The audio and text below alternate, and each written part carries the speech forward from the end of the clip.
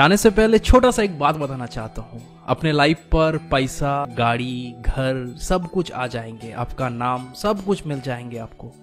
लेकिन एक चीज़ के अलावा, जो चीज़ आपको बहुत संभल कर रखना है, अगर उस चीज़ को आप संभल कर नहीं रखोगे तो आपके जीवन पर वो सच्चाई चीज़ कभी भी किसी भी टाइम नहीं आ सकते। हैं वो है आपका प्यार, वो है आपको जिस इंसान को पसंद करते हो, जिसको आप प्यार करते हो, जो आपको प्यार करते हैं, उस दोनों को मिलाकर जो चीज़ क्रिएट होता है ना, वो चीज़ आपको संभल कर रखना है अपने हाथ की।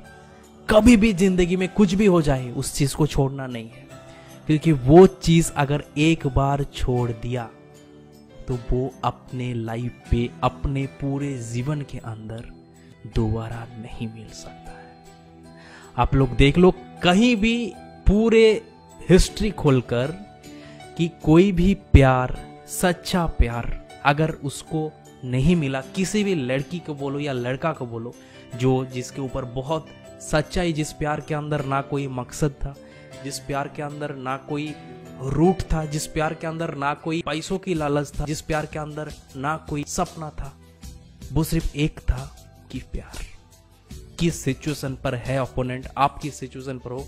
कुछ नहीं था, सिर्फ़ एक था वो प्यार, और वो प्यार आप कभी भी किसी भी टाइम देखे हो कि अगर एक बार टूट जाते हैं, किसी भी कर कर, वैसे टूटता नहीं है, बहुत कम सच्चाई, प्यार कभी भी आपको छोड़कर नहीं जाता, लेकिन अभी कभी भी आपका हाथ वो छोड़ देता है या छोड़ जाता है सिचुएशन की वजह से ऑटोमेटिकली तो वो आप बचपन से मरते दिन तक जितना दिन भी ज़िंदा रहोगे, वो चीज़ आपको दोबारा नहीं मिल सकती। दोस्तों, हम लोगों को सभी कुछ चीज़ मिलने का शौक है, आशा है। लाइक पैसा कमाना बोलो, घर बोलो, कोई गाड़ी बोलो, आपका आईफोन बोलो, हर एक चीज़ आपको मिल सकता है, क्योंकि वो अपने ऊपर हैवी है।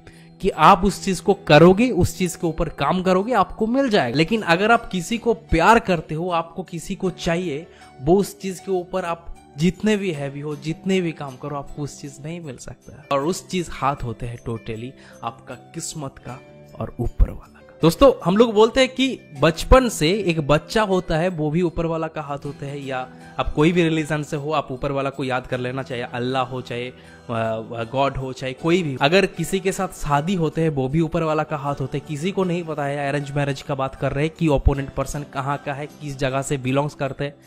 कहीं भी बचपन से नहीं पता होते, जो अरेंज मैरिज होते तीसरे नंबर पे है कि आपका मरने का दिन, आपका मरना, वो भी किसी के हाथ के ऊपर नहीं है, वो भी ऊपर वाला का हाथ पर है।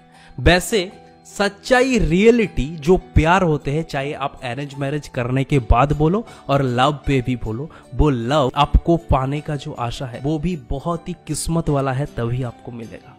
वैसे सबकी वश की बात नहीं होते, प्यार होते हैं, लेकिन आजकल का डेट का जो प्यार होते हैं, वो प्यार होते हैं। सच्चाई रिलेशन पर कुछ दिखा नहीं जाते मेरे भाई। वो एक सच्चाई प्यार होते हैं। इस फ़ील्ड को और इस रियलिटी को इतने ज़्यादा लोगों के पास फैलाओ ताकि हर एक लोगों को ये रियलिटी पता चले। और ऐसे तरह मेरा आवाज़ आप लोगों को अच्छा लगता है तो कुशल वस्त्र को फॉलो कर कर जाइए।